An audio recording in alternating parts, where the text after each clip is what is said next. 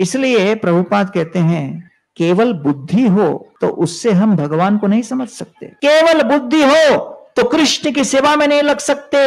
जब तक बलराम की शक्ति नहीं प्राप्त होगी, वो बलराम जी हमें शक्ति देते हैं कृष्ण के प्रति आस्था और श्रद्धा उत्पन्न करने की। बलराम जी शक्ति देते हैं उस आस्था को क्रियान्वित करके श्री कृष्ण की सेवा करने की। इसलिए हम बलराम जी के सामने याचक बन के आज आए हैं कि आप हमें शक्ति दीजिए, क्योंकि बड़े से बड़ा अगर तलवार भी हो लेकिन तलवार को उठाने की ताकत न हो तो हम युद्ध क्या करेंगे? तो इसलिए प्रभुपाद जी कहते हैं, जो गीता का ज्ञान, भागवत का ज्ञान, वो तलवार की तरह है। लेकिन उस तलवार को उठाने की शक्ति और सामर्थ्य चाहिए। वो तलवार को उठाने की शक्ति बलराम देते हैं।